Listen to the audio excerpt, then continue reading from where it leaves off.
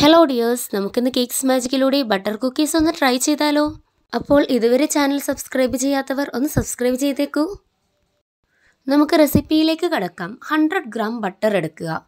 ഇത് റൂം ടെമ്പറേച്ചറിലുള്ള ബട്ടർ ആയിരിക്കണം. സ്പൂൺ വെച്ചൊന്ന് ഉടച്ചു കൊടുക്കുക.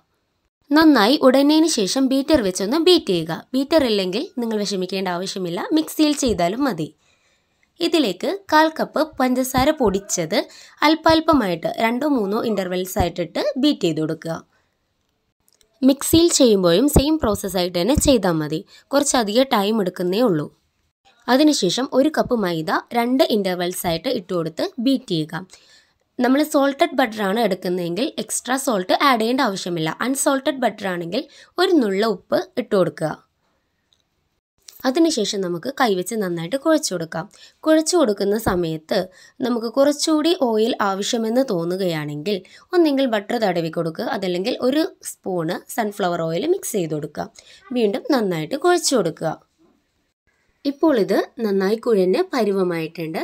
ഇനി നമുക്കിത് ചെറിയ ബോൾസ് ആക്കി ഒരു ബേക്കിംഗ് ട്രേയിൽ വെച്ച് കൊടുക്കാം. ബോൾസ് അല്ലെങ്കിൽ നിങ്ങൾക്ക് ഇഷ്ടമുള്ള ഷേപ്പിൽ കട്ട് ചെയ്തെടുക്കാം. പരത്തി സ്റ്റാറോ ഹാർട്ടോ അങ്ങനെ ഇഷ്ടമുള്ള ഷേപ്പിൽ കട്ട് ചെയ്തെടുക്കാം.